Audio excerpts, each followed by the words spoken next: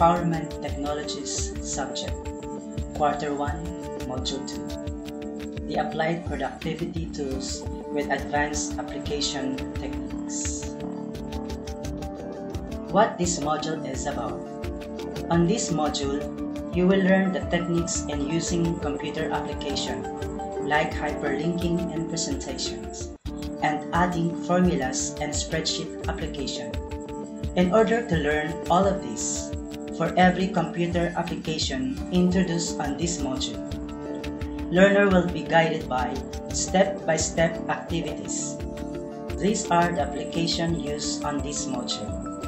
Microsoft Word, Microsoft PowerPoint, Microsoft Excel. What you need to know at the end of this module. You should be able to understand the different uses of productivity tools. Perform the following encoding, apply mail merge, add custom animation, hyperlink, insert images in word processor, and use of advanced formulas in Microsoft Excel. But before we go further in our discussion, let's have some short assessment. Read and answer the questions. Select the letter of the best answer from among the given choices. Number 1. What button allows you to see the result of your mail merge even before you print or send it out? Number 2. The following are formulas that MS Excel can understand exact. Number 3. Which of the following button do you select if you want to open a new document. Number 4. This error value refers to a cell that contains zero value or blanks. Number 5. Which of the following arithmetic operators is used for exponentiation? Number 6. Which of the following software are commonly used for presentation that contains animation. Number 7. Which of the following errors will appear if Excel encounters invalid cell reference? Number 8. Which of the following errors will appear if Excel encounters invalid cell has inappropriate value was given for the lookup value argument? Which of the following set of effects that can be found in PowerPoint application. And lastly, a function used to count the number of cells that contains something if the criteria are met. Our first topic is about developing ICT content for specific purposes. Productivity tools it refers to the software that people use to create and produce documents, presentations, databases, charts, and graphs. Productivity Tools helps you create professional quality documents, presentation, graphics, and more. Why should you learn productivity tools?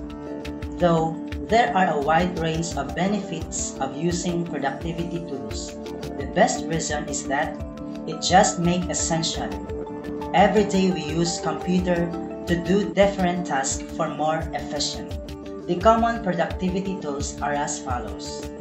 Number 1, Microsoft Word. Number 2, Microsoft Excel.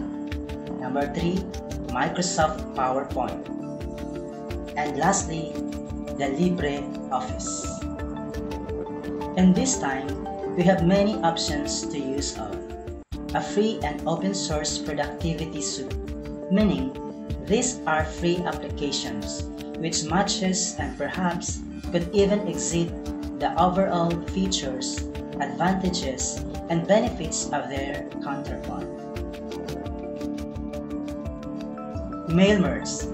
It is a Word's way of generating mass mailings. It involves combining a list of names and addresses to individually address to each person, receiver on the list. You can use mail merge to create envelopes or addresses labels, as well as form letters. Mail merge involve the following documents. Main document. This document contains text and graphics. Example, the body of the letters. Mailing list. This is your data source that is used to populate information in the letter. It contains names and addresses of the recipient. Merge document. This document the combination of the main document. So ngayon, tuturuan ko kayo kung paano uh, gumamit ng mail merge. Unang-una, buksan natin ang ating prepared letter. And then, dito sa menu bar, click nyo ang mailings. Then, click Start Mail Merge. Then, click Step by Step Mail Merge. Okay. Click na natin ulit. Yan. So, use an existing list. So, ito kasi yung letter natin na ipapadala.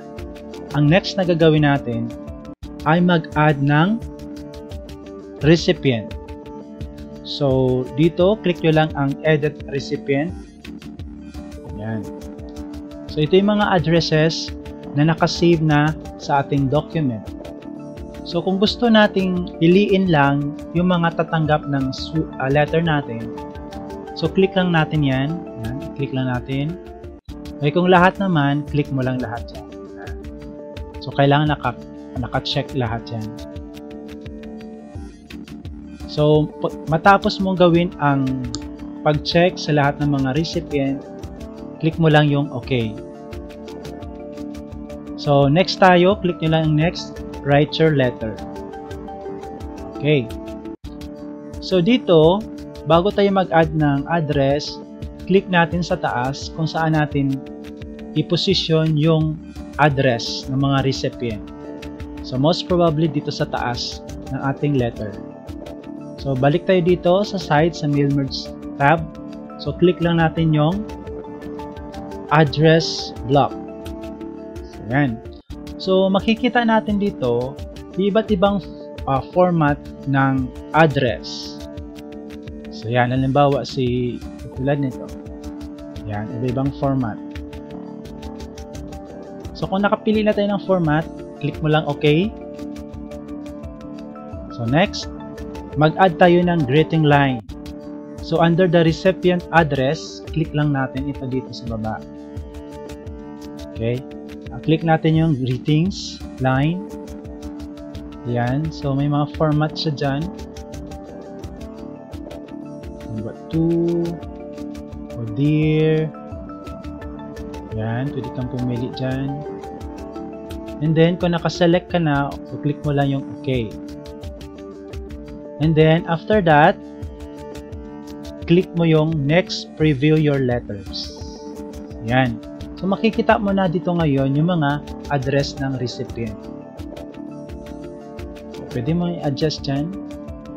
So, kung gusto mong i-check yung mga recipient, click mo lang yan.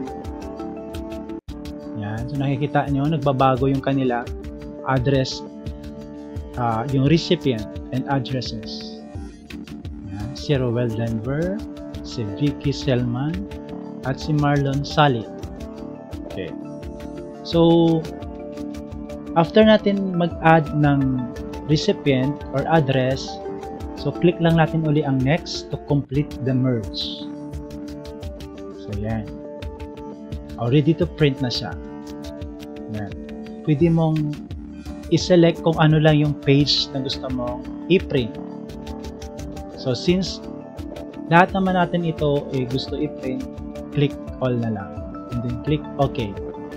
So, ganun lang kadali ang mail merge.